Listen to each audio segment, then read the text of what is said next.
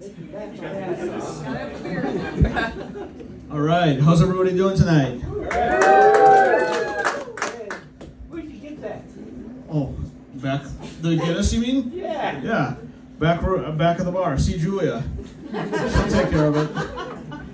I see where everybody's at. How's? Right. All right, Julia, can we get this man a Guinness? All right, it's my favorite drink. I like the dark beers. So, um, got a lot of my friends here tonight. Thank you for coming. Thanks. Yeah, thank you. Yeah. I uh, everybody, every group of friends has that friend that comes with a warning sign. If you don't know who it is in your group of friends, it's probably you. In my group of friends, it's definitely me. So anybody here that knows this will attest to that. Uh, I got to be honest with you guys. I haven't been doing comedy for very long, but I've been an asshole my whole life. So this is a great fit.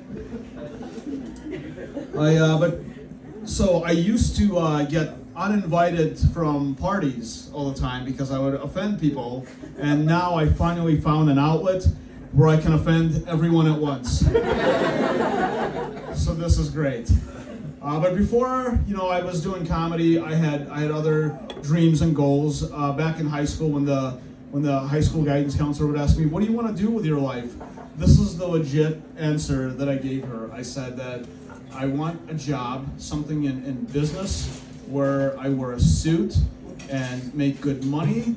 But in reality, I just I want to act all important and do nothing. and they always tell you to be careful what you wish for, because my wish came true. That job is called pharmaceutical sales. So everybody wants to be in pharmaceutical sales because they don't know what it is. I'll sum it up for you. So in a nutshell, pharmaceutical sales is a combination between the old ladies in the grocery store handing out cracker samples and talking your way out of a traffic ticket at the same time. So um, things are uh, things are going okay at work. I mean, it's a little questionable. We might have uh, layoffs on the horizon, but don't feel bad for me. If I get laid off, I get a severance package. If you guys don't know what a severance package is, it's when they pay you not to work there. Some of you could use a severance package to get out of your parents' house in the form of first month rent and security deposit. I don't know about you though, I would never say no to free money. I haven't been this excited to hear the words, I have a package for you, outside of a porno. Some of you knew where that joke was headed. So um, I've been interviewing, uh, and in interviewing, I, I learned that I wouldn't hire myself either. I had, uh, I had a manager tell me, he's like, I want somebody that'll get out there early in the morning and go hunt for the business. I was like, whoa, man, you lost me at morning. I, uh, I had an interview. I, I showed up 30 minutes late to a 45 minute interview. Yep. That's my style. You know what? I so my uh, my and they you know what? They actually they still moved me forward, and I said, how bad were the other candidates? So my uh, my father-in-law, he's you know honorable man, ran a factory, and uh, he's got a saying that if you're not 15 minutes early, you're late. And my saying is, if I'm 15 minutes late, I'm early.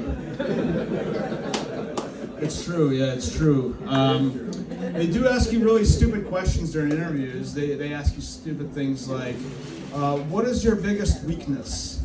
And uh, you know, I mean, you can't you can't answer that question truthfully. You can't say, I, I like to show up late and leave early. you have to fluff it up with some corporate BS like, I manage my time and tasks very wisely. There we go. Like, how well do you work with others? Well, I like to make fun of them and get them to do what I need them to do. That's never going to fly, so I have to say something like, I work well with internal and external stakeholders to achieve a common goal. So that stuff works. Um, I don't know, though. Maybe the corporate world is not for me.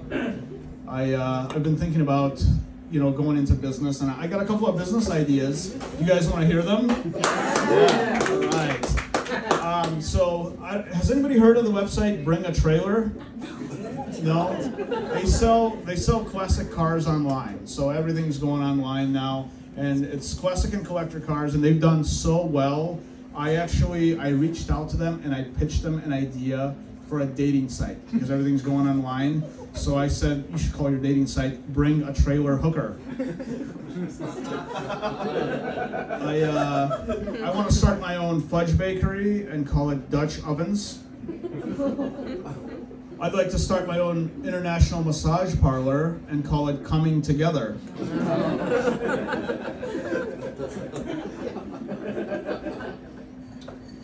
So I have uh, I have kids. I have a boy and a girl, and they're great. Love them very much.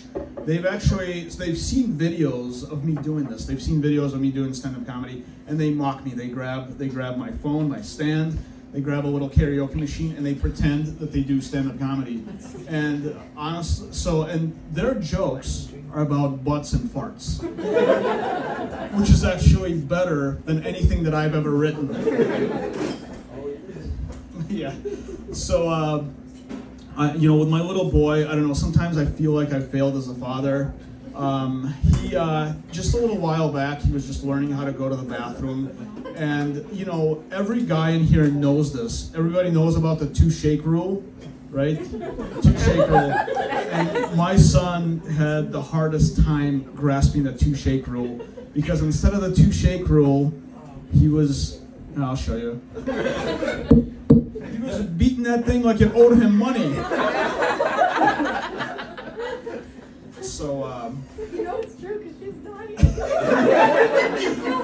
That's true, yeah. With my daughter, the, the goals are different. In the past, every father's goal was to keep the daughter off the pole, right? Nowadays, it's to keep your daughter off of OnlyFans. My better half is here tonight. She's amazing, she's supportive, she's beautiful. I just hope one day my wife can meet her. That's a terrible joke. I hope they never meet.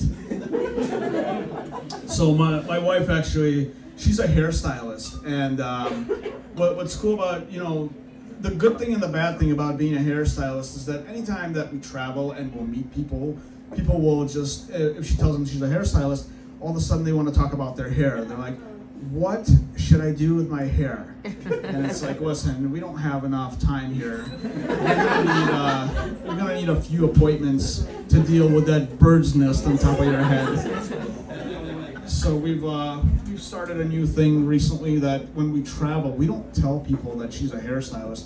We tell them that she's a financial planner. And we ask them how much money they make, and that shuts them up pretty quickly. So she um, she runs a salon and, and it's great. I love the salon. Um, I I call the salon. My nickname for the salon is the Piranha Tank. And that's because you know anything that I throw in there gets eaten. So let's say if I drop by with some cookies, eaten. If I drop by with some lunch, eaten. A girl with a weak personality, also eaten. Yep. Uh, we recently introduced a, uh, a 401k, you know, the savings plan, state's mandating it now. And uh, some of the reactions were, 401k? You better give me all my money, Kay. That's a better savings plan. I, uh, I had a lady call the other day. Um, sometimes the calls come to my son, and she wanted a free haircut for her son. She she wanted to see if we would do a haircut for a charity, and uh, so you know she she comes in and, and we cut her hair, we cut the son's hair, and then she she didn't like it and she wanted her money back. I said, you know what, this haircut was free. And she said, I know, I don't like it. I would like some money. So that's that's the kind of people we deal with. Um, dating? Anybody in here on a date? Yeah, all right. Dating's kind of tough. I think that dating is a lot like shopping for cars on Craigslist. The the good ones go fast, and the ones that are left will leave you broken, broken. It's tough. Yeah, it's tough nowadays. I see. For me though, I'm retired from the game. This old player can no longer play. I can only coach. I'm not allowed to set foot on the game court. If I do, I'm going to end up in court with my wife. But uh, the, the hardest thing about dating, what I don't understand about dating, anybody in here ever been ghosted? Yeah, you've been ghosted. Okay, so to me, I don't understand ghosting. I don't understand why anyone would give up the satisfaction to tell someone what they really think of them. if it was me, I think I would treat it like a business deal on Shark Tank. I would say something like, You have a really hot body and a face that I can tolerate. but you were mean to the Uber driver and the waiter, so for that reason, I'm out.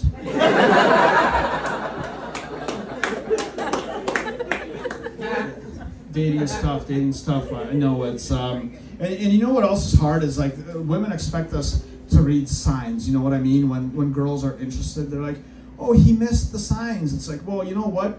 We missed the signs because every guy in here has been burned by the signs.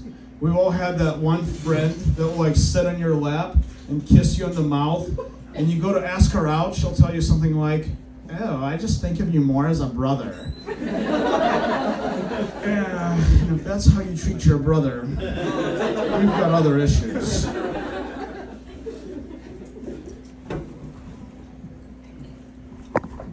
So uh, one of my friends was uh, dating somebody that, um, you know, most people date someone that finishes their sentences. One of my friends was dating someone that finished his meals. Now that didn't go well. Um, but, uh, you know, let's talk about marriage a little bit. Uh, my younger friends have been getting married. My older friends know better. so marriage, it's a, it's a very emotional time, you know, for, for the bride and groom. And years ago, I went to a wedding where I heard the maid of honor give the worst wedding speech that I've ever heard. She gets up, she gets up there and she says, "I've known you for a little, for for a long time, too long, and you always copy me." That was legit. That was the real speech. Uh, I didn't make that up. And, and the bride had tears in her eyes, not because she was emotionally moved, but because that friendship was over. The, uh, the best man, on the other hand, the best man cannot cry at, at the wedding. If the best man cries at the wedding, he's going to lose his best man card. There's only two men that are allowed to cry at the wedding. One is is the groom, and one, the other one is the, the father of the bride. And uh, because the father of the bride is giving away his beautiful problems and his daughter. The groom cries for different reasons than most people think. Most people think that the groom cries because he sees this beautiful angel walking down the aisle. No, the groom cries because he just bet half of his stuff on this relationship working out. Not just present stuff, future stuff too. So honestly, I think you'd have better luck putting all on red in Vegas. Might be a bit more fun and cheaper too. The best, the best wedding advice I received was from a guy that was married and divorced twice. So he should have taken his own advice. But he said to me, he said, you can be right or you can be happy. You can't have both. So I took that advice to heart, and there's just certain things that I no longer argue with my wife about. So for example, her her wallet cost more than the money that she has in it. her purse has the same name as an Italian gangster, Louis. Louis shook us down. We got nothing left.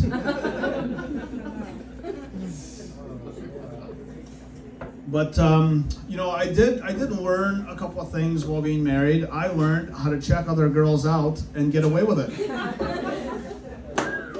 Yeah, I'll get into that right now. know, yeah, you can try that later tonight. So what you do is when you see when you see a good looking girl, you go ahead and you stare at her. You stare at her confidently. Very confident. Eventually your wife is gonna catch you looking, and that's when you start talking shit about the girl that you're looking at. You say something like, "Ew, who cut her hair? A five-year-old? Where'd she get those boots, Payless shoes?" And there's nothing more than women love than talking shit about other women. So eventually, your wife is gonna join in, and she's gonna say something like, "Why does she dress from Forever 21? She looks like she's Forever 42." By the time she catches on, and it's a big if she catches on, you got enough wank bank material for a week. Do this right a couple of times, you could be an investment banker. You're welcome, sir. Go ahead and try that. How many years of marriage has it been already? Too many, but. Too many? Try that. Never too soon to teach an old dog new tricks. But I, I realized that Wanna be I. a dog? Huh? I've right, I somehow managed to offend someone already. And I haven't even gotten to the racial stuff yet. So. It's good stuff. Uh, but um, I've learned that um, I, I don't understand women. I know nothing about women. We, uh, we went out the other night with my, my wife and her friend, and her friend was checking this guy out, and she's like, oh, he's attractive. And I was like, where's this dude? First of all, I couldn't see him because he was so small. It was just, just little white guy. And uh, I, couldn't, I couldn't tell what was so attractive about him. I thought he was pretty vanilla, but he had some tattoos, so vanilla with sprinkles and uh, she's like, you know, he's mysterious. Mysterious? The only thing mysterious is what this guy does all day. I mean, for a job. So, uh,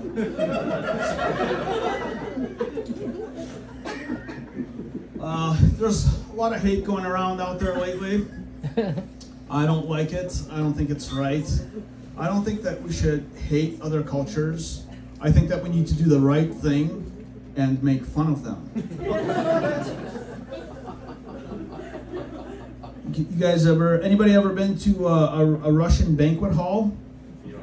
Yeah? Yep. You have? Yes. Awesome. The Asian's been to a Russian banquet.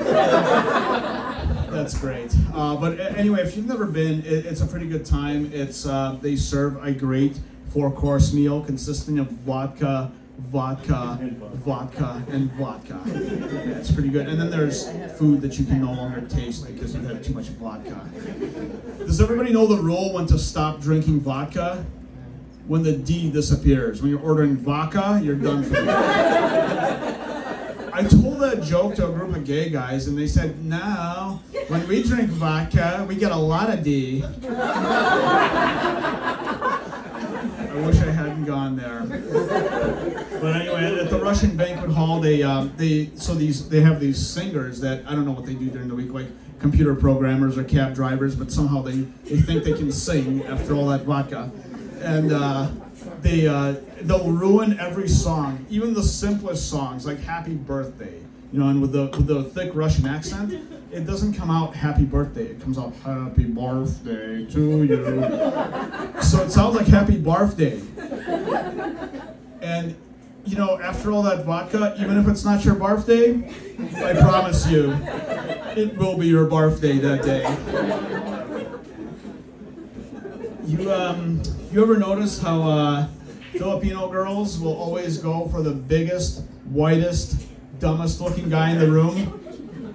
Guy's so big and so white and so dumb, he's got a permanent huh look on his face. A guy so big and so white and so dumb, it looks like the Navy drafted him right out of the frat house.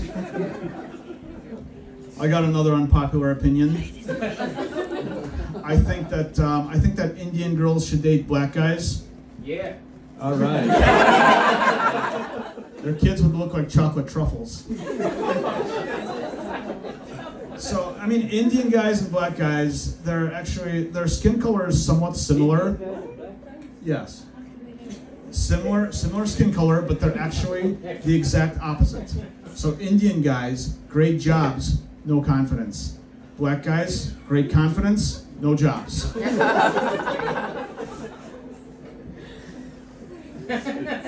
You know who's more annoying than real Italians? Fake Italians. Everybody's got a friend like this, you know what I mean? They they um they act all the time. They could be like German, Irish, Jewish, but they're overly dramatic. Sinatra's on the wall. Let me tell you something. Uh, ordering the tour of Italy at the Olive Garden does not make you any more Italian than you think you are. So stop it. So um, I've realized lately that men are creeps. Some of us are just more honest about it than others.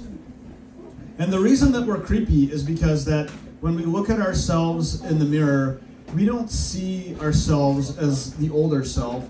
We still see ourselves as, the 20 year old self. And this hasn't been an issue for me because I've looked 40 since about 16. but uh, tonight I'll let you know just how creepy men really are. So when we when we look at a girl, we always, you know, one day you'll catch a glimpse of some cleavage or maybe some arm, maybe some leg, and we try in our sick heads to put together a puzzle piece of what this girl would look like naked. Sorry, I gave away our secret, guys. Sorry. That's why we like the bikini shots. Only three puzzle pieces missing.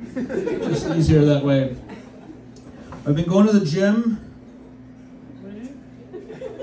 That's good, guess. I've been going to the gym, been working out. I don't know if I'm getting stronger, but I'm definitely getting bigger.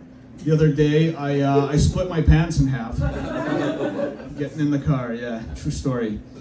Um, I did. Uh, I did take a police test once. Not that I actually wanted to be a cop. I just got tired of paying for a gym membership, so I showed up to work out.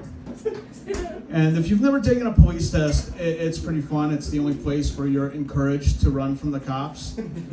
They stand there and they cheer you on as you struggle through a 10-minute mile. And uh, if you think it sounds like it should be easy, it should be.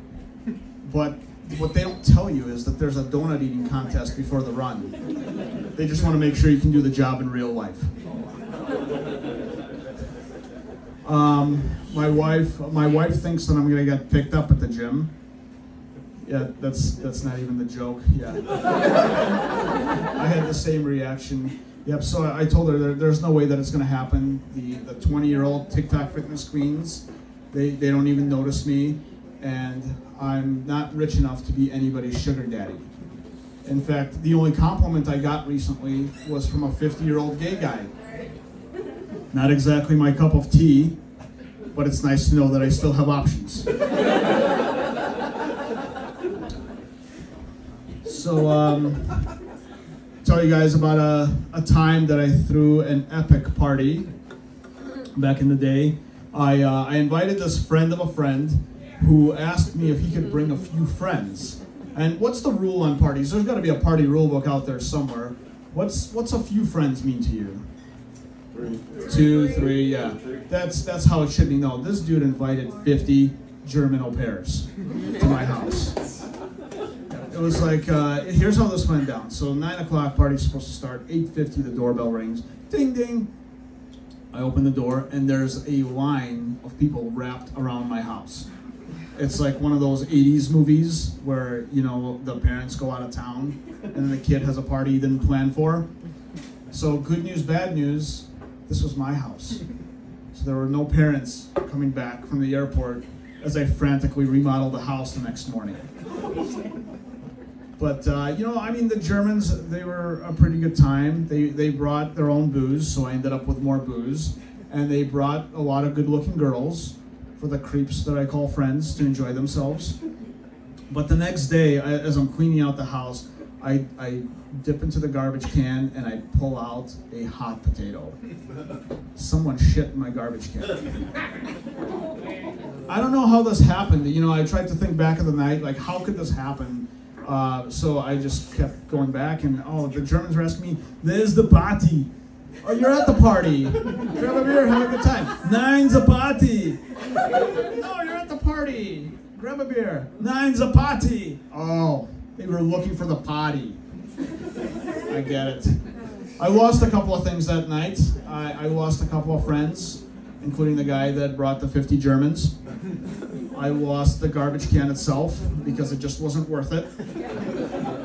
And I lost the toilet seat because after 50 asses have been on that toilet seat, that's now a public bathroom. My favorite kind of party is a Mexican party. Anybody like Mexican parties? Yeah. I love Mexican parties. They have them often. Usually, a quinceanera is followed by a baby shower.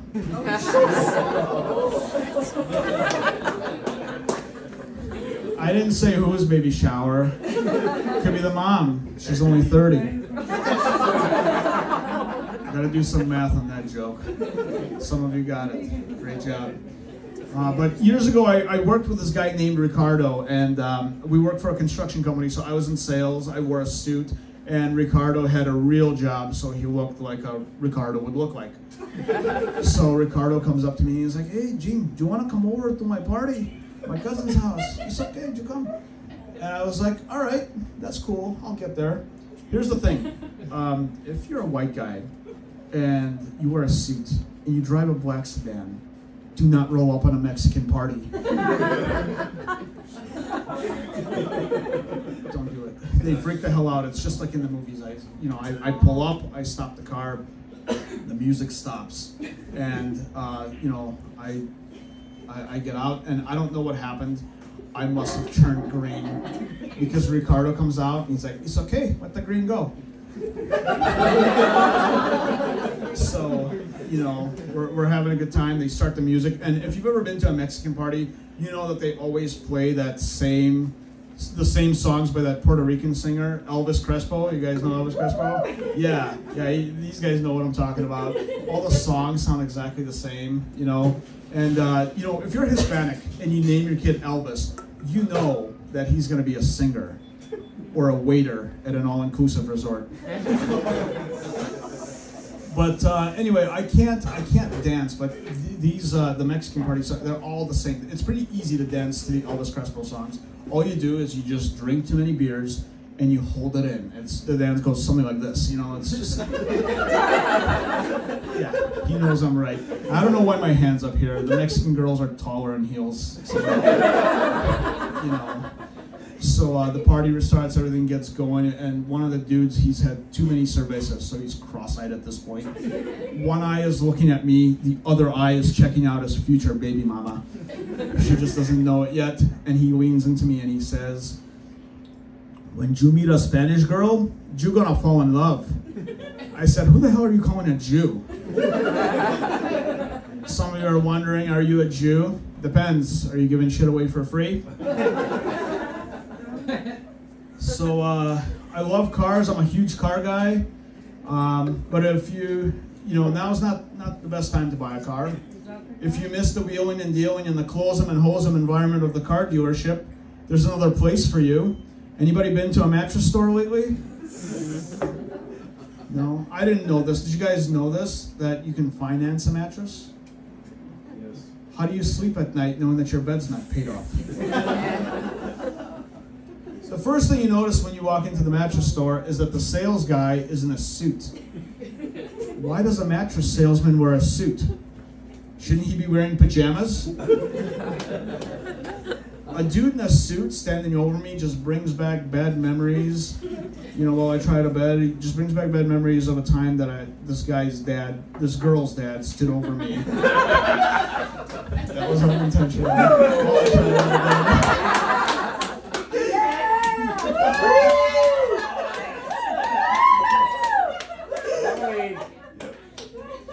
No, I'm lost. Where was I?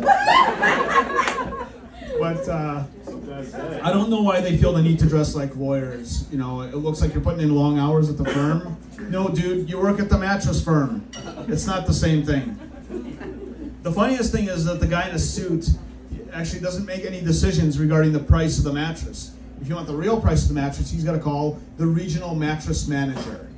And uh, I could just see this big shot sitting in this little apartment with a Bluetooth cockroach in his ear. yep, go for Chud. Take 300 bucks off if he buys today.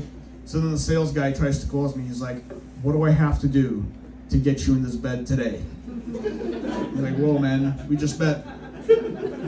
But you can start by taking off that suit. He was trying to close me hard and I just wanted to sleep on it.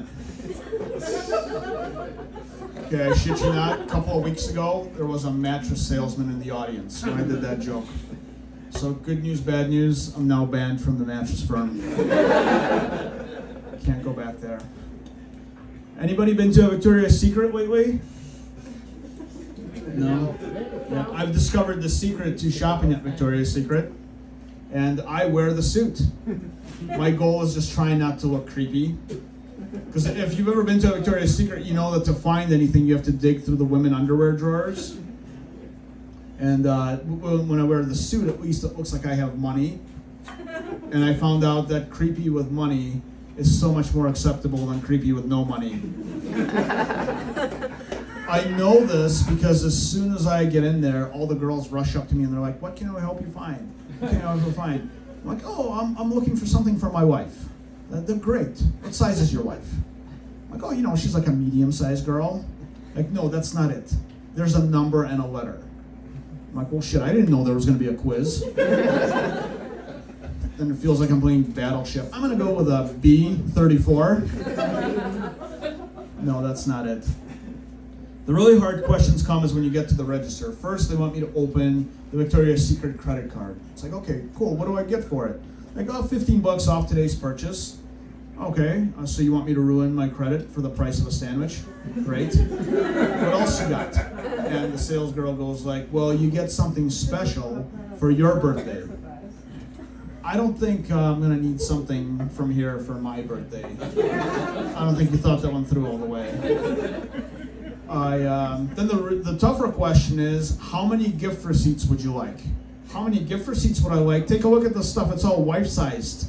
How many gift receipts do you think I would like? So just to mess with them, if I have like three bras, I'll be like, I need four gift receipts. Like why four? In case it doesn't work out with the first same size mistress. So uh, I'm married. It's going well, I think. But uh, any anybody here, any woman here knows that when you're in a good relationship, even when it's good, they try to pressure test that relationship. Right? They like to roll out the spike strips just to see if you're paying attention. My wife did this to me the other night. She says to me, "Who would you be with if we weren't together?" so, ladies, you're welcome. You could try that later tonight. The guys in the room, if you don't understand what just happened here, or you have a room temperature IQ, let me explain it to you. This is a trick question. You cannot answer this question because any name that you blurt out in the moment of passion can and will be used against you for the rest of your life. If you say something stupid like, I've always thought Sarah's been kind of cute, they know. Every argument will end with, Why don't you go be with Sarah? You should have married Sarah then. I told this joke to my wife earlier, and she says to me, Who the fuck is Sarah? Thanks, guys. You've been great.